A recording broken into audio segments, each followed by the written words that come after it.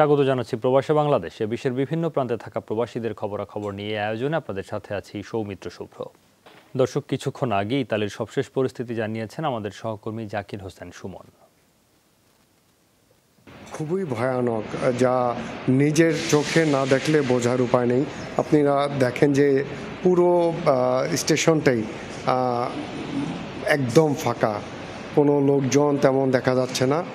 পরিস্থিতি এতটাই ভয়াবহ রূপ নিয়েছে যে সবাই যার যার বাসায় অবস্থান করছে, ঘর থেকে পর্যন্ত কেউ বেরোতে পারছে না। অনেক, অনেকের সাথে আমার কথা হয়েছে। তারা জানিয়েছে যে তাদের স্কুল পড়ুয়া ছেলেমেয়েরা বাসায় অবস্থান করছে এবং তারা বেরোতে পারছে না। করোনা ভাইরাসের প্রভাবে যুক্তরাষ্ট্রের বাংলাদেশিদের মধ্যে কী অবস্থা বিরাজ করছে তা জানিয়েছেন সহকর্মী আজিমুদ্দিন অভি।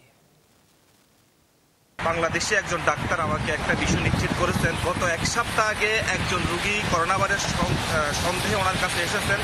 তিনি ওই ব্যক্তিকে পরীক্ষা করার জন্য বলেছেন। পরীক্ষা করার পরে উনি বিষয়টা নিশ্চিত হয়েছেন যে উনি করোনা ভাইরাস রোগে আক্রান্ত। পরে ওনাকে হসপিটালে পাঠানো হয়েছে। প্রায় আটজন বাংলাদেশি এ পর্যন্ত আমরা খবর পেয়েছি। এখন বাংলাদেশিদের মধ্যে একটা আতঙ্ক বিরাজ করছে এবং বিশেষ করে যারা প্রবাসী বাংলাদেশিরা আছে, বাসা থেকে একদম জরুরি প্রয়োজন ছাড়া বাসা থেকে কেউ বের হচ্ছেন না। পুরা থমথম অবস্থা বিরাজ করছে পুরা যুক্তরাষ্ট্রে জুড়ে। ফ্রান্সে গেল চব্বিশ ঘন্টায় প্রাণ গেছে একশো আট জনের, আক্রান্ত প্রায় দুই হাজার। এ নিয়ে দেশটিতে সংক্রমিত প্রায় এগারো হাজার। সেখানে বর্তমানে কী অবস্থায় রয়েছেন বাংলাদেশিরা তা জানিয়েছেন সহকর্মী আবু তাহির। যে হারে করোনা ভাইরাসে আক্রান্তের সংখ্যা বেড়ে চলছে, তাতে করে সরকার অত্যন্ত চিন্তিত। ফ্রান্সের প্রেসিডেন্ট ইমানুয়েল ম্যাক্রন তিনি জাতির উদ্দেশ্যে বিশ মিনিটের দীর্ঘ ভাষণ দিয়েছেন। তার ভাষণে ছিল ভালোবাসা, অনুরোধ এবং শাসন। তিনি ভালোবেসে সবাইকে বলেছেন, কেউই না খেয়ে থাকবে না। আবার তিনি অনুরোধ করেছেন তরুণদেরকে যে তরুণরা যদি সরকারের কথা বা ডাক্তারদের পরামর্শ না মেনে বাসা থেকে অযথা বের হন, সেক্ষেত্রে বাসায় তাদের বৃদ্ধ যারা আছেন, তাদের জন্য এটি একটি ভয়ানক ক্ষতির সম্মুখীন হতে পারে। ফ্রান্সে বাংলাদেশ দূতাবাসের উদ্যোগে বঙ্গবন্ধুর জন্মশতবার্ষিকী এবং জাতীয় শিশু দিবস পালিত হয়েছে।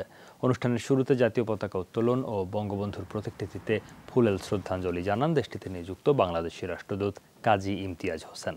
এই সময় উপস্থিত ছিলেন দূতাবাসের কর্মকর্তা সহ বিভিন্ন সংগঠনের নেতাকর্মীরা। এ সময় বঙ্গবন্ধুর জীবনী নিয়ে আলোচনা করেন। বাংলাদেশের মহান মুক্তিযুদ্ধ সহ সব আন্দোলনে বঙ্গবন্ধুর অবদান তুলে ধরেন।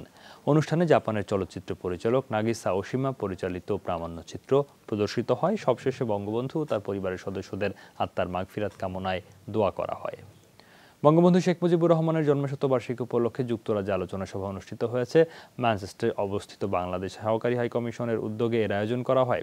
এতে সভাপতিত্ব করেন সহকারী হাইকমিশনার আবু নসর মোহাম্মদ আনোয়ারুল ইসলাম এবং যৌথভাবে পরিচালনা করেন মাহমুদা খানম ও জিল্লুর রহমান। এ সময় উপস্থিত ছিলেন বিভিন্ন সংগঠনের নেতাকর্মীরা। সভার শুরুতে বঙ্গবন্ধুর প্রতিকৃতিতে ফুল দিয়ে শ্রদ্ধা জানানো হয়। এরপরে দেশ থেকে পাঠানো রাষ্ট্রপতি, প্রধানমন্ত্রী, পররাষ্ট্রমন্ত্রী ও পররাষ্ট্র প্রতিমন্ত্রীর বাণী পাঠ করা হয়। এ সময় বক্তারা বঙ্গবন্ধুর নানা স্মৃতিচারণ করেন। সোনার বাংলা গড়তে সবাইকে ঐক্যবদ্ধ হয়ে কাজ করার আহ্বান জানানো হয়। যুক্তরাজ্যে প্রয়াত মুক্তিযোদ্ধা কমান্ডার সৈয়দ আলাউদ্দিনের স্মরণে আলোচনা সভা ও দোয়া মাহফিল অনুষ্ঠিত হয়েছে।